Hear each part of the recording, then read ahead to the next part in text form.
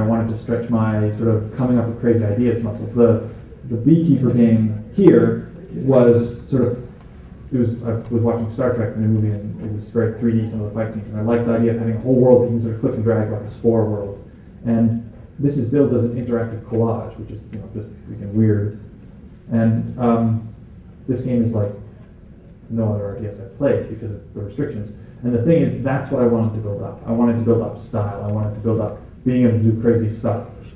Platformers, it's a, it's a iterative versus innovative thing. If I come up with an idea in a platform, I'm going to be like, all right, I'm jumping. I want something to kill me. Well, I'll make spikes.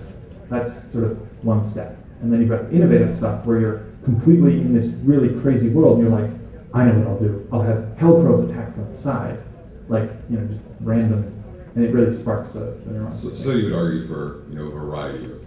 Of I would argue that you do what you want to do and have fun because generally that's doing crazy stuff.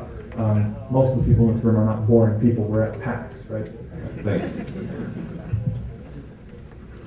Yeah, uh, my question is, uh, for the five thousand dollars that you spent uh, on the artist, uh, how did you exactly break down um, that figure, like in terms of uh, billable hours per piece? I was lucky.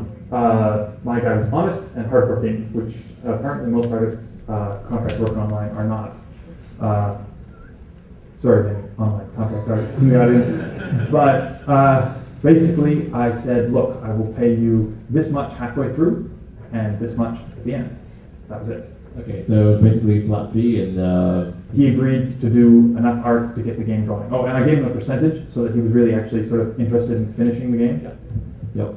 Oh, and last thing I wanted to say is I actually just started a magazine um, called Downloadable Games. I've got copies to people if, they, uh, if anyone else is doing them, and I'll be out front. I'll give one to you as well. Cool.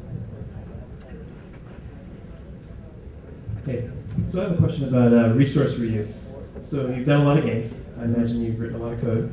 And I was wondering how much of a, a set of libraries or tools or reusable pieces of resources have you maintained, and does it help with the seven-day schedule? Very much so. Very, very much so.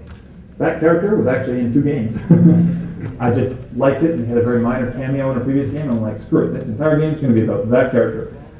Um, and as for code, I have some standard things. I've got like a, a setup file that has a whole bunch of sort of generic functions I call from, uh, you know, very sort of basic 2D, 3D functions, stuff like that. Um, and I have done a whole bunch of failed projects. So this RTS was not my first RTS. Only my friends played my first two RTSs, and only a few people on a few small websites played the next two.